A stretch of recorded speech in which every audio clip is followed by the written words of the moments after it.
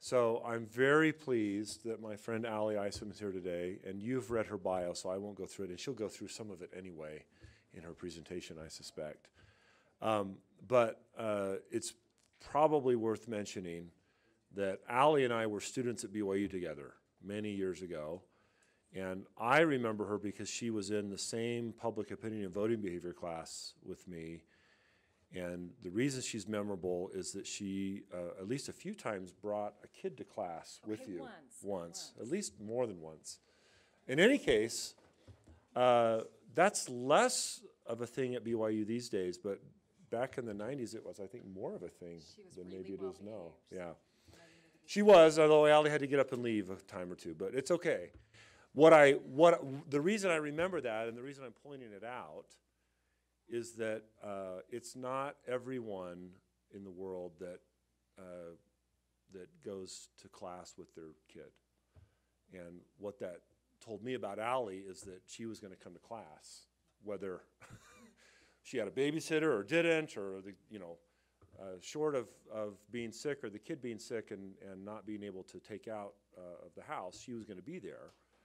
And it, it gives you a sense of her sort of commitment to her own education and her career path, and you'll get a very good flavor for the fact that she's a go-getter and has a lot of energy and a lot of vision.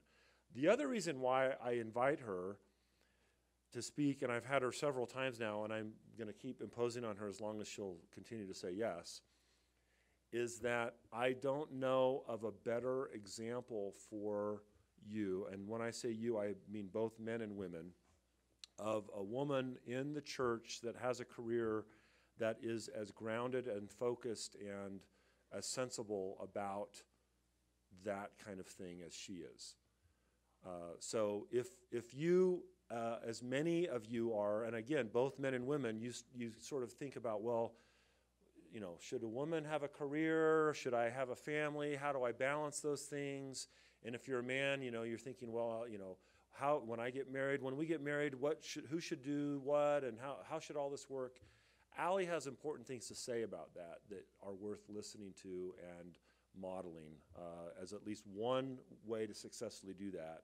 And I think it's important to, to put those examples, a variety of those examples in front of you because um, uh, how do I say this? In our particular little subculture, uh, we don't often model that very well. And we need more uh, ways to think about it and talk about it, and she does it in a very good way. So if, if I haven't primed, if she doesn't talk about it directly, I hope I've primed you to ask questions about that so that at least we have a conversation about that. And, and with that, I'll turn the time over to Ally Isom. Thanks, Quinn. It's really my honor to be with you. I love coming back here. My husband and I are reluctant BYU cliches. Um, I, I, uh, BYU was not my first choice uh, for school, but this is where God sent me, and uh, that launched a number of decisions that I made that um, weren't according to plan, but have ended up better than I ever imagined. So. Uh, I'm here, I recognize that most of your guests are going to be speaking from certain arenas, and I used to be in a purely uh, political arena, and some who also work for the church might say I still am in a political arena, but um, I don't have a single isolated industry that we're going to talk about. My career is really um, public policy, public affairs, strategic communication, organizational and management strategy, and coalition building and stakeholder engagement. So it's uh, kind of a, a niche sometimes to be in that skill set. Uh, and, and my career path, I firmly believe, has been guided by our Heavenly Father. And um, I'll walk you through some of that, and then hopefully we have some time for questions. But um, I began by running local and statewide campaigns and lobbying, um, working in state agencies, which led me then to the governor's office, LDS Public Affairs, um, Communication Services, and now what is called the Church Communication Department. And uh, I want to, let me just start with, oh, I forgot I had that slide. Okay. So, political campaigns, lobbying, this is, I should have clicked through this, but this is where I began. Um, to really start to see God's hand in my life. I, up to that point, I had thought that uh, my life had been a hodgepodge, but I could see as I worked for the governor, Governor Gary Herbert, here, the governor of the state of Utah, um, I started to see how God had prepared me in so many ways. It was the convergence of policy, politics, and communications, and some might call it my dream job. I was the deputy chief of staff, communications director, and spokesperson for Governor Herbert for three years. And I left his office in 2013. Every day was different. There were incredibly long days. If he weren't a man of faith, I probably would have worked 16 hour days on Sunday too. So I was grateful that he was vigilant in his Sunday worship.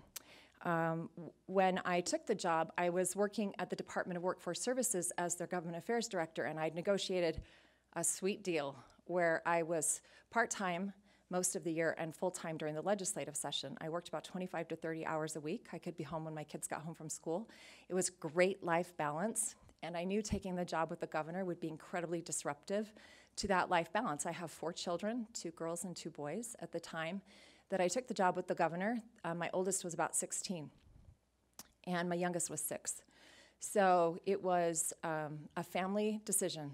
We had two family councils where we talked about what this would mean if mom were to go do this, that this would be a family commitment, that I wouldn't do this if anyone in the family felt they couldn't support me in this because everyone was going to have to adjust. And um, my husband did the most adjusting of all. Eric took over the laundry, the groceries, and the carpool. And uh, he loved the carpool. I am still, um, I have, I, I have, with much gratitude in my heart, indulged the man in continuing to maintain his laundry duties. It's fantastic when somebody who's a little OCD does the laundry. Um, but I have not yet convinced him to make a menu before he goes grocery shopping. So we're kind of doubled up on that sometimes because he, uh, he likes donuts and I don't. Um, my kids all stepped up as well. In the governor's office, I was the primary media interface. I was a policy lead on senior staff. I had a small cadre of legislators where I was their portal into the office. Uh, I had a tremendous experience doing strategic planning on specific issues like gun legislation, sex ed bills, um, the Snake Valley Water Agreement, which is a shared water between us and Nevada. They wanted to stick a giant straw in our aquifer. Uh, judicial nominations, I had a key role in making sure the governor's nominations were approved. And at one point, when we had a female nominee and it looked like she was in trouble, we unleashed social media at a time when legislators were largely unprepared for that, and she was confirmed. It was um, a fantastic process. I was also um, assigned to issues like budget, wildfires, windstorms, and the National Governors Association when they came to town. My biggest takeaway from my time in the governor's office is the power of guiding principles. And this is something the Spirit revealed to me, and I'm a firm believer that the Spirit is your greatest mentor. I learned through experience and through teachings through the Spirit that I needed to think of things in this order people first. Always put a face on whatever you're grappling with. Know whom it affects, the impact it has on their lives, the real stories behind the issue. Then the next is principle. What are the driving principles? If you set your principles first, then whatever comes, you're ready to handle it in an objective way. If you wait to set your principles till the situation's before you, it's too late. You've lost your objectivity. Then policy. I love good policy. Good policy is fair, it thinks through long term implications and hidden agendas. It creates equitable um, playing fields and it creates good outcomes. Process, process matters. You don't get to good outcomes without good process. And then politics. And if I thought of things in this order, then we got it right. It's when politics started to rise in, into this order or creep in, objectivity is distorted. Uh, it's no longer objectivity, right? Your vision is distorted, and your um, sometimes the principle on which you are trying to pass good legislation or make a good policy decision gets compromised. So um, I'm a big believer in this order, and this has actually stayed with me in other jobs as well. Uh, let me tell you a story about how I left the governor's office. Um, my oldest daughter, that little baby I snuck into class, uh, was a BYU student, art history major, minor in business and had significant health issues. type 1 diabetes, Addison's disease, and hypothyroidism. And her life was a balancing act of medications and, um, and hormones, frankly. And uh, her senior year at BYU, um, she was found in her, we found her in her apartment, passed away. She had had a severe uh, hypoglycemic episode. Nobody found her in time. And um, that was a transformative experience to have my oldest child die when I'm in the throes of working for the governor. I found myself throughout that year um, in policy meetings sitting around a table thinking, why are we so worked up over things that don't really matter? And uh, it gave me a chance to step back. And uh, slowly, I was being prompted that it was time to leave the governor's office. I was prompted over a series of two months. The lieutenant governor, Greg Bell, at that time, had determined he would be resigning his post. And I felt like I needed to stay and help the governor through that transition for lots of reasons, and then um, tenured my resignation. Now, uh, all governors may not be this way. This governor, in particular, is uh, he's a, he's he's always the quarterback. He's the point guard. He's he's used to being in charge. So when somebody's out of formation, it's a little distressing to him. And uh, he took it personally when I came in and said, uh, "It's time for me to leave." Um, there was there were tears and screaming from both of us, and I just said, and eventually, Governor, I I'm sorry, but this comes from a higher power, and I'm way more scared of him than I am of you. so I um, I resigned, and within three weeks had other job offers. But let me tell you, I, I, I was commanded by the Spirit, and I don't, I don't get these kind of promptings, but I was told November 22nd will be your last day. November 22nd will be your last day. So I submitted my letter with that date on it, not knowing that the week after that would be the Kitchen v. Herbert decision on gay marriage that hit the state of Utah.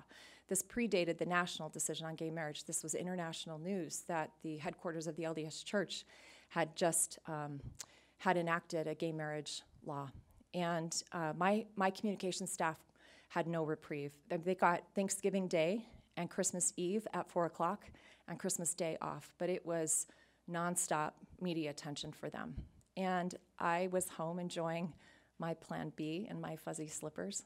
Um, because God had told me I needed some time and that He had something for me to do, but it was going to be revealed to me slowly because my brain needed to slow down and my soul needed some rest and reprieve. So, um, this is my daughter, Alyssa, who was the student here. And um, I'm going to say this that uh, her passing uh, has not only just been a transformational experience, but it has made me realize the high stakes with which we um, grapple with mortality. So I know you all probably have a keen sense of these decisions you're making, but let me tell you with all confidence that your God knows you and will lead you. That nothing is for, uh, ev- everything has a reason. There, is, there are no accidents. And even when things don't seem to work out for us, uh, if we turn our hearts to, to God, we will be guided. Um, so, this was my post the day I left the governor's office. I felt like I had been on a, a crazy ride. and um, then I went to public affairs for the Church of Jesus Christ of Latter day Saints. And uh, I, I, was initially, well, first of all, they didn't know what to do with me. Elder Perry created the post for me and asked me to come help fix the American family. and um, that assignment had a couple of special projects assigned uh, I was tasked with, and then after a year, I was made the director of family and community relations, and then I took a post in the communication services department as the director of institutional messaging, the first director of institutional messaging, which meant essentially my responsibility was branding and messaging. I'm now the director of church identity and messaging. It's the same role, it just has a different title in a new department. And uh, I, I love what I do in that every day is still different. And maybe I could uh, walk you through what I'm doing right now. Uh, I'll, I'll do offsite planning with my team and my, for my fellow directors. Um, I just completed a landmark audience study, global audience study, the largest study the church has ever done of both members and those not of our faith. And we learned a lot about how people think about faith, religiosity, and spirituality. We built a universal audience model that our departments will be using and have now a branding strategy so that our leaders can speak in one voice to a global audience as a global church. And hopefully you'll start to see some things there. We are we are starting to some things, some seeds have been planted, but um, there's a lot of bureaucracy in church headquarters. So you have two strategies. You have the strategy of what you want to accomplish, and then you have the strategy to get it approved. So that's where the politics comes in handy. Uh, it, I, I will work um, with BYU on occasion on specific issues. Um, I do some digital asset management, documentation, product plans, lots of bureaucracy. I was recently also put over all the communication work, both internal and external, for the Temple Square renovation project. So some of you may know that the Salt Lake Temple is being renovated and base isolated, which means it can swing five feet in any direction during an earthquake. It's an incredible engineering feat we're about to undertake. And uh, Temple Square is going to be um, largely different than you know it and they will stabilize the temple as a historic preservation project and then build uh, new visitor experiences for all of you. And some of that strategy that I've been working on will be embedded in those visitor experiences. So we're very excited to see what happens, but this is going to be, um, I'm told now, four plus years of, of um, engaging the public in meaningful ways and helping our members learn more about what God has in store for them in the Holy Temple. Uh, I do lots of uh, problem solving and strategic planning, lots of meetings, lots and lots of meetings. I do consultation with um, other departments, lots of written reports, verbal reports, and, and presentations, pre meetings, post meetings, and partner and stakeholder engagement. So, um, key elements in my being recruited for my current post. Well, let me go back. There's the one other key issue that um, I've had a significant role in, uh, in, in public affairs before I came to communications. And that was, I, I was the lead on the redesign of the website of Mormon and Gay. So the church was largely uncomfortable with using the word gay out loud. And um, after much deliberation and putting a face on the, I don't like to call it an issue uh, because it's people, but helping leaders see the people that are impacted by these choices. Um, we switched the website title from Mormons and Gays to Mormon and Gay so that you could be both. They're not mutually exclusive. And to help our leaders and members, um, and, and mostly ecclesiastical leaders, learn how to speak to LGBTQ people. And that's an ongoing issue at headquarters. I have personal feelings about it, and today I don't really want to talk about those because I'm conflicted in some of the ways we talk about. I can tell you that this last week we had um, what I would call maybe less than ideal framing of our statement on reparative therapy. We are not opposed to uh, the ban on reparative therapy. We're opposed to the bill because the bill is inadequate and the bill before us is not sufficient. But I would say, in professional retrospect, that the way that was framed was less than ideal and that we needed to reaffirm our position in opposition to reparative therapy. And, um, you know, lesson learned. I think sometimes we learn things the hard way, and this, these decisions are not always made by one person. So I see my stewardship as give them my very best thinking. Then I have my accountability to God, and then the accountability is, the accountability is theirs. I, this, I learned that from working for the governor because one day I was ready to throw my body across a piece of paper on his desk, keep him from signing something that I felt uh, impacted way too many people in, in all the wrong ways. And um, I came back to my office pretty upset, shut my door, hit my knees, and said, Heavenly Father, help me. Help me know how to persuade him. Help me know how to help him see. And I was taught through the Spirit that the stewardship is his, that my responsibility is to give him my best thinking and then the accountability is his. And I'm grateful I had that lesson before I came to headquarters, where I now have 20 bosses, uh, and I apply a lot of those lessons learned. So that gives you kind of a summary. Oh, this is me with a Relief Society in Bengaluru. They're all like five feet tall. I'm not wearing heels, I'm actually wearing flats that day. So, um, yeah. I'm tall. Okay, so practical advice. I tried to think about what would I say to my 22 year old self? What do I wish I would have known? Uh, what wisdom have I gained? First one is never stop learning. Oh, just be voracious about consuming all you can, all your life. I know many of you are thinking, I can't wait to not have to read the prescribed text for a class and just read something for fun. Okay, that'll last six months, but then once you've recovered, pick up other stuff and start reading stuff that you can continue to learn. Continue to learn and grow because people who are hungry for knowledge are hungry for solutions, are hungry for relationships that matter, are hungry for networks that make a difference. And in political circles, it's all about people and connection. If you want to be hungry and connect with people in all the right ways, learn all you can about the humans who inhabit this earth. Next, keep your skills sharp and your network vibrant.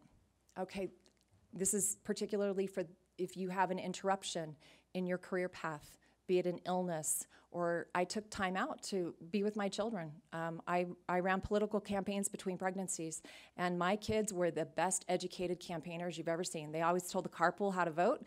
If they saw certain signs, they could tell people who that candidate was and what they stood for. So, um, you know, I remember canvassing neighborhoods with a kid on my back and a couple in each hand, and um, you know, you just you do what you have to do when you're doing it. But I'm a big believer that there are ways to keep your skill set sharp, even when you take those timeouts. You still, um, in addition to reading, you can be engaged as a volunteer. You can service. There's so many options online that were never available to some of the, the you know, your parents, and you have ways to stay fresh and keep your skills sharp. And don't stop writing. Don't stop thinking. Writers rise. Okay, the next thing is leaders are not always at the top of the organizational chart to value influence. This is something that took some time for me to understand because I'm driven. Like I I I want to lead. And I have come to understand that it doesn't matter if you're in a senior position on an organizational chart if they're not following you. Because there are ways to have tremendous lateral influence in an organization, and so many organizations can be affected from the ground up, and you can you can uh, put a lot of furrows in before you're in a leadership role. So I, I think this is I, I, what, the reason I say this is I think sometimes in political science we think it's only leaders who get to make decisions and be in charge. And that's not true. You can change your environment in many ways, and, and it happens through leadership. The next one is motion is not always momentum. People often mistake motion for momentum. Having a long checklist doesn't mean you're getting anything done. If you want to create real change, there has to be momentum behind it. So learn the difference between those two things. What creates real momentum? Lasting, durable change. Don't mistake a bunch of commotion and activity for making progress on an issue. And sometimes, especially in campaigns, uh, people start to think, well, we've got a bunch of stuff going on. We're making a lot of headway. Not necessarily. So learn how to measure what momentum looks like. The next thing is trust God and put your career on his altar, and he'll make more of you. I've already made this point, but I'm a big believer uh, in this. And I've had the luxury of not having to work. Um, and so it's easy for me to say, right, in some ways, uh, because my husband was fully employed and insured, and uh, we could have survived on his income alone. And that gave me freedom to say the things I really wanted to say and not worry about whether or not I'd be let go because um, integrity matters a lot to me. But I also learned that's what you should be doing anyway, right? Like, that's what you should be doing anyway as a covenant person. Be true to yourself, be true to your God, and He will guide you. And even when you have to say those really hard things that feel super risky, in the end, it's always the best thing for your career. Always. And the Spirit is your lo- most loyal mentor and guide. I, I'm a big believer in mentorship. I mentor a lot of people, male and female. But I have to tell you, the custom mentoring I get through the Spirit matters so much more. So if you want to carry a little book around with you, or a little notepad in your pocket, or a binder, whatever it is you, in your journal, keep a list. But pay attention to the promptings you receive and write them down. If you don't write them down, you will never remember them and you will start to see patterns that God provides you when you start writing them down. When my daughter passed away, I was given guiding principles. I was actually given guiding principles before she died to prepare me for her death. And have, um, you know, as a mother, I wanted to follow her around and give her injections and make sure she was stable and she was eating. And, um, you know, that would have undermined her agency entirely. And so God gave me guiding principles. When she passed, He gave me guiding principles again when I said, How do I not let this grief and this black void suck me in and destroy me? How do I not succumb to the darkness that seems to prey on those with grief? And God gave me guiding principles. And I, I've continued to do that in my job. The job I have right now, I'm the first person to have this job. There was no template, there was nobody training me. It was figure it out as you go and try to make inferences from these vague things that leaders are saying. And, um, you know, the job description, the top, um, the top bullet was comfortable with ambiguity. which is so true. Um, come to play, v- very true. But uh, if I didn't have the spirit, I could not do what I do. I would be in a fetal position in the corner. Okay. Next thing is um, I want to share these thoughts with you about true discipleship in the public arena because it will transform you. It will transform you. When you show up and you engage in the arena, the places where we have public dialogue and explore solutions and we talk about our differences, it changes us. Just by being present and earnestly listening, by practicing discipleship from a center of faith, compassion, and vision, we are transformed. And our heart is made new. We are changed. We are more. And so, my first principle here would be people matter, see them. So often, when we engage in the public arena, it is us versus them. Good versus evil, right versus wrong. We are the defender of truth and righteousness, are we not? We must stand, we must fight. We, but in the public arena, isn't it often just a little bit more complicated than that? Consider how often issues are framed with that polarized framework, an oversimplified model that positions people at extremes, and it makes for great reality TV or ratings grabbing journalism. But real life and real solutions, real people, are much more nuanced. And because we understand the concept of progression, I think that is something the people of an LDS faith can understand. Often I find myself very uncomfortable with overgeneralized false dichotomies. But how do we reconcile that? The rejection of a polarized framework. You have Lehi's teachings about opposition. He taught that for our agency to operate for God's eternal purposes, there must be opposites righteousness and wickedness, holiness and misery, good and bad, life and death. Without opposites, Lehi said, all things must needs be a compound in one, wherefore it must needs have been created for a thing of naught. Wherefore there would have been no purpose in the end of its creation. Wherefore this thing must needs destroy the wisdom of God and his eternal purposes.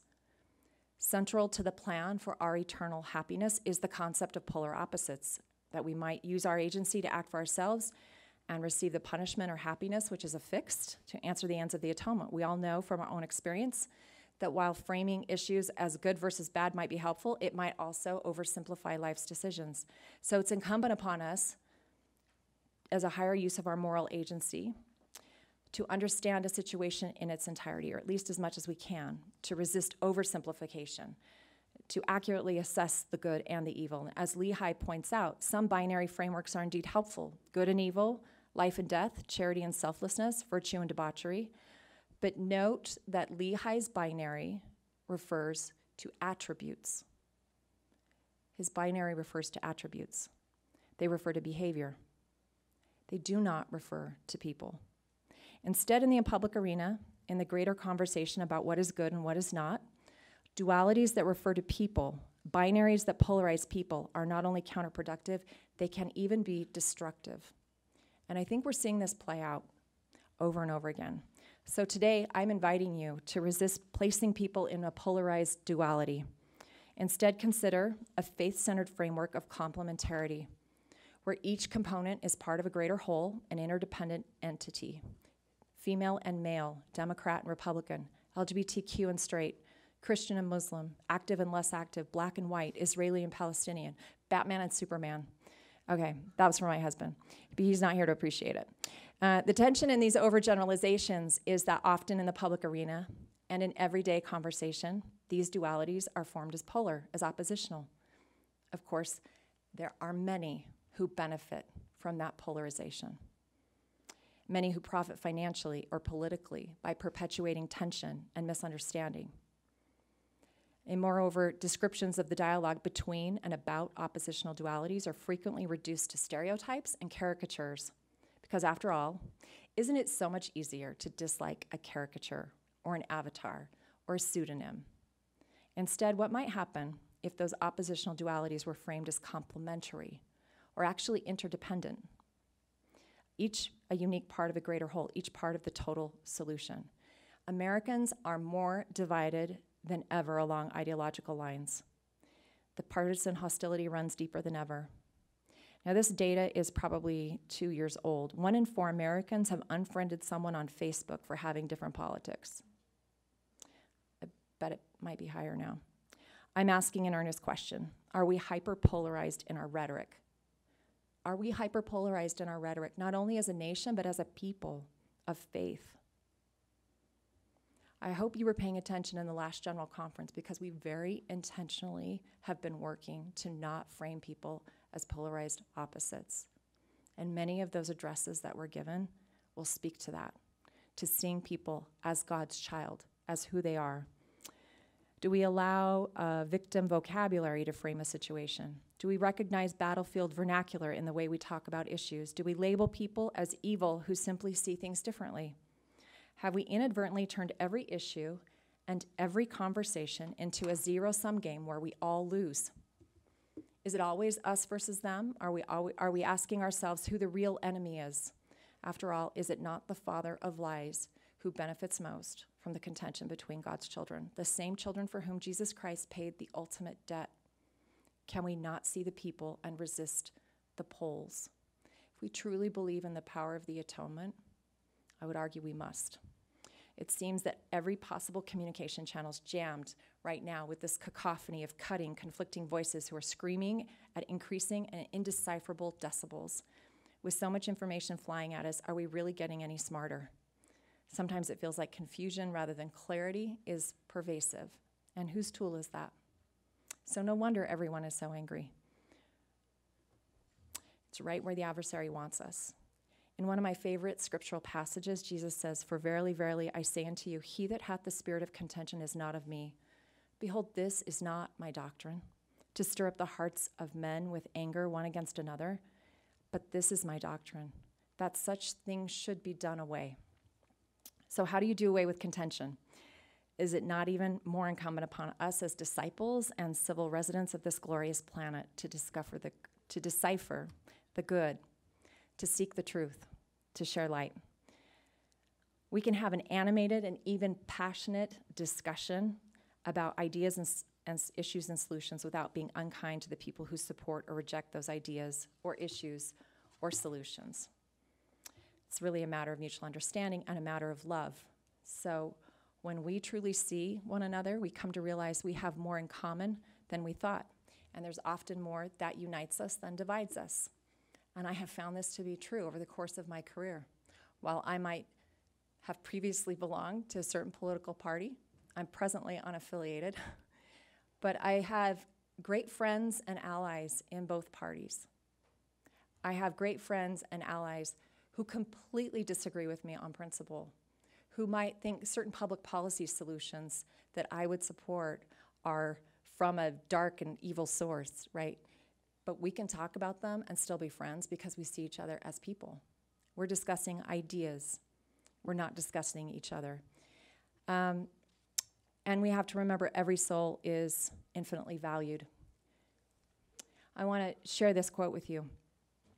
Uh, when I began my employment with, with the church, uh, about six months in, I hit this faith crisis.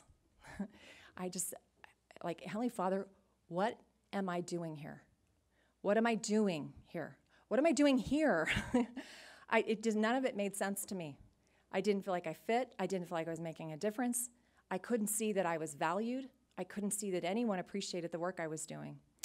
And I came across this quote from Elder Robert Gay, who is one of my favorites, I'll have to admit. And he wrote, or he actually spoke at BYU Idaho in their commencement. On, a speech is called Continuing Your Life's Journey it was in 2013, July of that year. And he said this In the days ahead, you will find many occasions to murmur, but remember that God is in control and is never absent.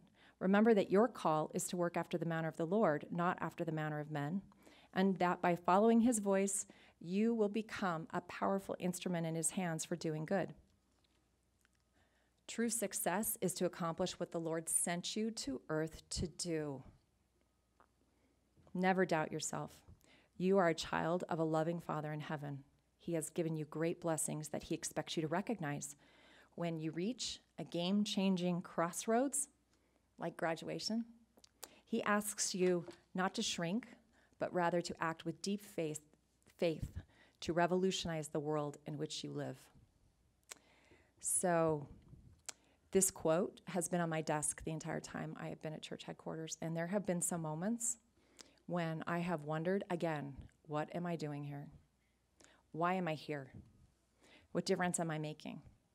And these words speak to my spirit and my soul. And I encourage you, find things like this and hang on to them. They may have come out of somebody else's mouth, but your, your God is speaking to you in personal ways. So recognize them. Um, two years, ago, well, actually, three years ago this month, Heaven reclaimed a devoted servant whose name is Michael Frank Peterson. He worked in the public arena, served with tremendous faith in our church and community, and this quote from him is framed in my office The work is never done. As the work gets harder, the purpose becomes clearer, the veil becomes thinner, spiritual eyes of understanding become sharper, barriers to spiritual communication fall down, and miracles happen. A miracle is a wondrous work of God. And I would contend each of you is a wondrous work of God. And within you are the seeds of infinity. You're meant to do wondrous works here and now. So I invite you to act with deep faith and revol- revolutionize the world in which you live. And I leave that with you in the name of our Savior, Jesus Christ. Amen. Thank you.